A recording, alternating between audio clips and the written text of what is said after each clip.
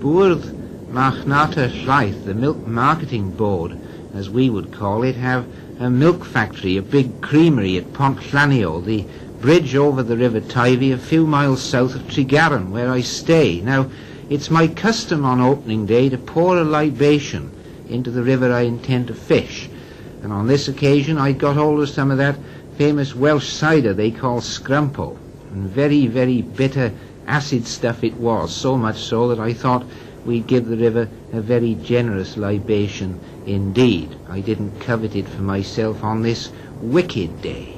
There really was a very bitter wind, and there was driving, lashing rain, and long before I began to fish even, a lot of this rain was penetrating, getting down my neck, soaking from my hair, and generally making me feel very cold and uncomfortable.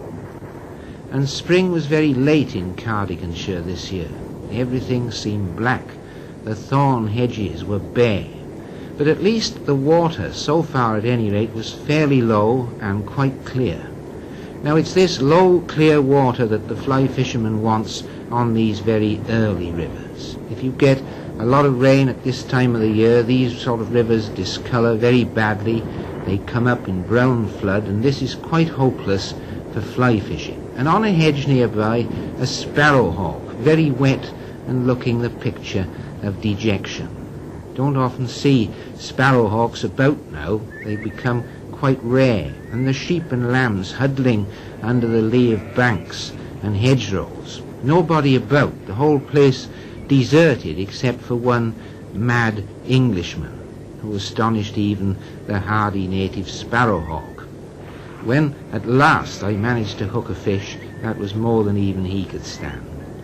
Well, I think I was very lucky indeed to get this fish on such a day. The river was getting up, it was discolouring, and for my part, having got that one, I was satisfied.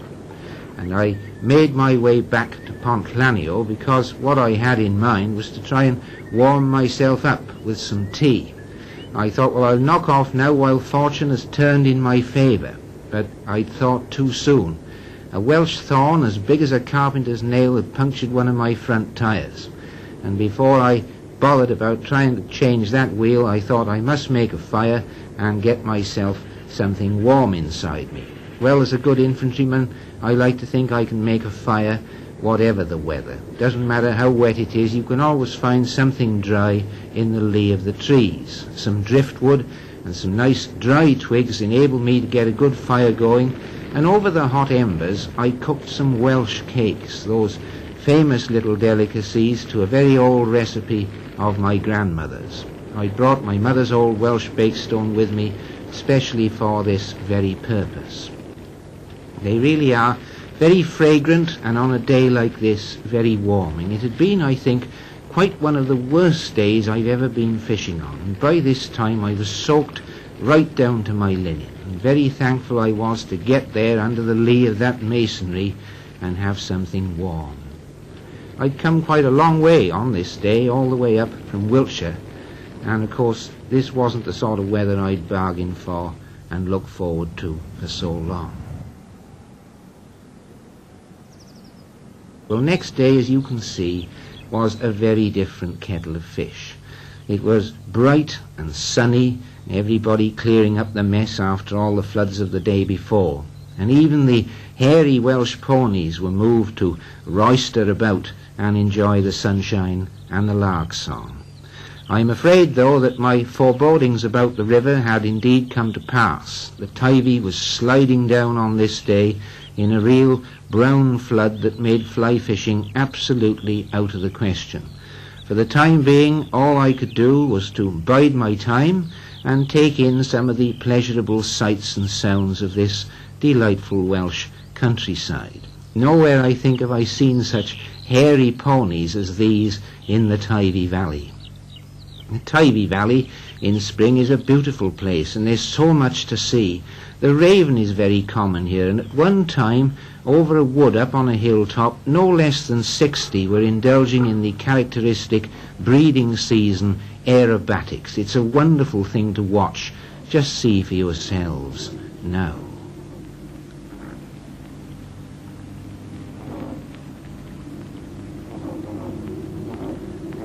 The raven breeds right the way down from the Arctic to Afghanistan, but in many parts of England they are not at all plentiful. They are fairly common here in central Wales, and as I say, on this particular day, I counted as many as 60 in flight together. And the way they tumble in the air, almost as if they're completely out of control, is quite amazing. It's a thrilling thing to watch, something to delight a man and comfort him for the lack of his fishing.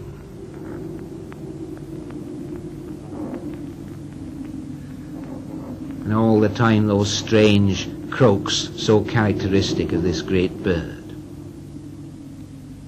A lot of the Welsh shepherds and hillside farmers use the horse to get about on on these steep mountain sides.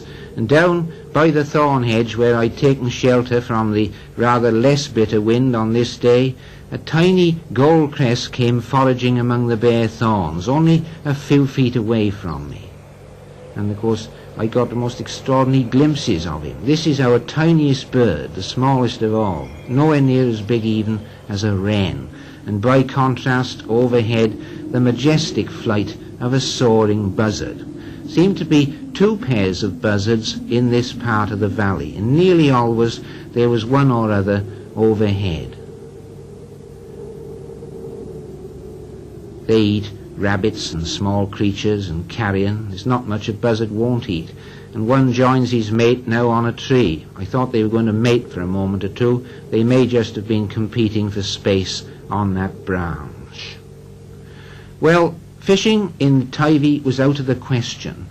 But near the village of Llanddewi Brefi, I found a tiny tributary flowing in and this tributary stream was also marked on my map as part of the fishing of the Tregaron Angling Association. And so, starting above the boundary line, I began to fish the clear water. And there was a place where some concrete lined the bank, and the yellow hammers were singing their bread and cheese song in the thorns nearby. And from that little pool I thought there was a very fair chance I might be able to connect with a trout. I had on, of course, my famous Imperial. It's a matter really of trying the likely places. The badge there of the Welsh Fly Fishing Association, which they very kindly gave to me after the game fair last year. And sure enough, before very long, I made contact with a very lively trout in this little stream which is called the Avon Pysgotwr. Avon Pysgotwr in the ancient tongue means simply the fisherman's river.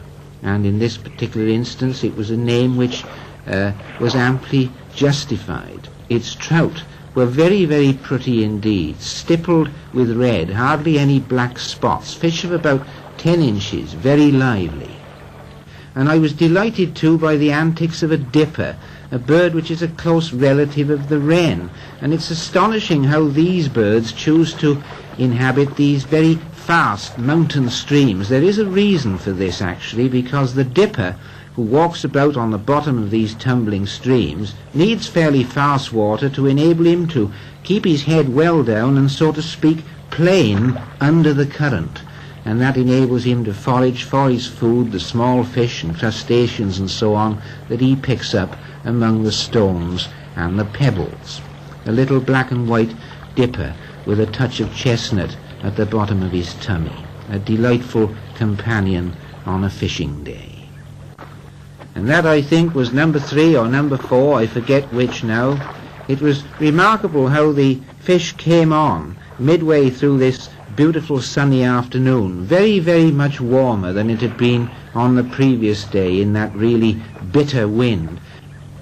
And finally, there was an old footbridge with a bit of a pool before it and it was there, I think, well on to about half past four in the afternoon that I finally caught my fifth fish of this unexpected and memorable outing.